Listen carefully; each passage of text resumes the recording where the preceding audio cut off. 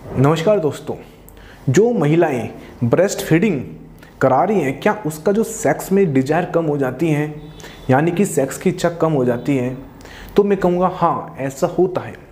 और इसके पीछे रीज़न क्या है? देखिए, जब महिलाएँ अपने बच्चे को दूध पिलाती हैं तो क्या होता है, उस समय ब्रेस्ट फीडिंग के समय जो हार्मोन है एस्ट्रोजन उसका लेवल कम हो जाता है बॉडी में।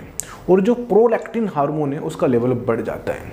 इसकी वजह से क्या होता है कि जो लुब्रिकेशन होता है, जो वेजाइना में लुब्रिकेशन है, वो कम हो जाता है।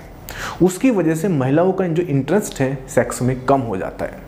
इसके पीछे और भी रीज़न है। और रीज़न ये है कि जब महिला ब्रेस्ट फीडिंग कराती है तो उसमें बच्चे का भी बहुत काम होता है, घर का भी बहुत काम होता है। और जो वो ब्रेस्ट फीडिंग कराती है, कहीं ना कहीं उसकी बॉडी में वीकनेस आती है। वो इरिटेट हो जाती है स्ट्रेस में रहती है।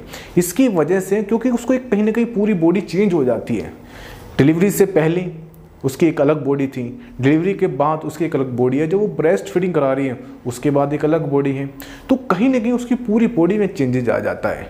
इसकी वजह से वो स्ट्रेस में रहती है। और क्या होता है कि उसका जो धीरे धीरे मन सेक्स से हटने लग जाता है।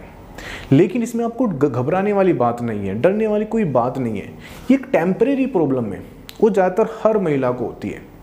यदि आपको, आपके परिवार में ऐसी प्रॉब्लम आ रही है आपकी वाइफ को तो इसमें आपको घबराने वाली बात नहीं है टेम्परेरी है। कुछ दिन में वो अपने पुराने पैटर्न पर आ जाएगी।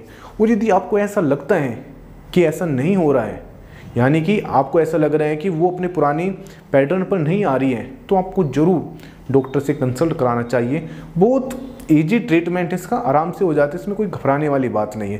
पहले इंतज़ार कीजिए वेट कीजिए। ये नहीं कि आपको अपने पार्टनर को प्रेशर देना है, नहीं।